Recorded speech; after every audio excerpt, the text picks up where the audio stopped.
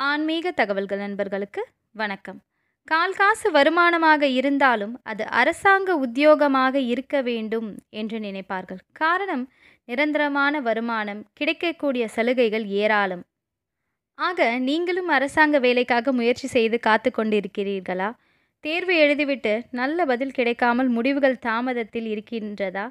அரசாங்க வேலை கிடைக்க வேண்டுமென்றால் உங்களுடைய கனவை நினைவாக்கும் ஒரு எளிய பரிகாரத்தை பற்றித்தான் இந்த பதிவின் மூலம் தெரிந்து கொள்ளப் போகிறோம். இதனை முழு இறை நம்பிக்கையோடு உங்கள் கைகளால் அதாவது அரசாங்க வேலைக்கு யார் முயற்சி செய்கிறீங்களோ அவர்களோட கைகளால் இந்த பரிகாரத்தை சிவபெருமானுக்கு நீங்கள் செய்யணும். என்ன செய்யணும் அப்படின்னா ஞாயிற்றுக்கிழமை காலை ஆறுலேருந்து ஏழு மணிக்குள்ளே சிவன் கோயிலுக்கு சென்று சிவனுக்கு செந்தாமரை அல்லது செண்பக பூ இந்த இரண்டு பூக்களில் எது கிடைக்குதோ அந்த பூக்களால் அர்ச்சனை செய்து கொள்ளுங்க.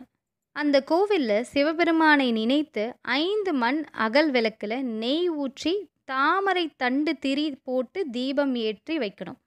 அதை ஏற்றிவிட்டு சிவபெருமானிடம் மனதார உங்களுடைய ஆசை நிறைவேற வேண்டும் என்று பிரார்த்தனை செய்து கொள்ளுங்கள். அதாவது அரசாங்க வேலை கிடைக்கணும் அப்படின்னு வேண்டிக்கோங்க. பிறகு சிவபெருமானை மூன்று முறை வலம் வந்து அந்த கோவில்லையே அமர்ந்து கண்களை மூடி மனதை ஒருநிலைப்படுத்தி நிச்சயம் உங்களுக்கு வேலை கிடைக்க வேண்டும் என்ற நம்பிக்கையோடு சிவாய நம என்ற மந்திரத்தை நூற்றி எட்டு முறை உச்சரிக்க வேண்டும்.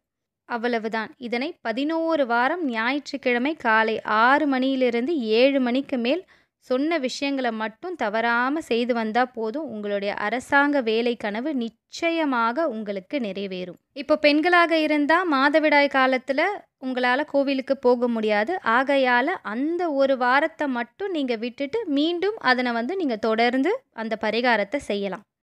நம்பிக்கையோடு செய்யுங்கள். நிச்சயம் பலன் கிடைக்கும். மேலும் இது போன்ற தகவல்களுக்கு நமது ஆன்மீக தகவல்கள் சேனலை சப்ஸ்கிரைப் செய்யுங்கள். நன்றி.